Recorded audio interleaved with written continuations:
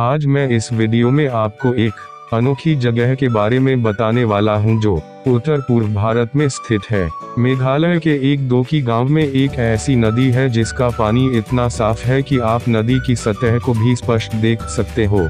इस नदी का पानी इतना साफ़ है कि इसमें तैरने वाले जहाज़ ऐसे दिखाई देते हैं जैसे वे हवा में उड़ रहे हो। इस नदी का नाम है उन्नगोद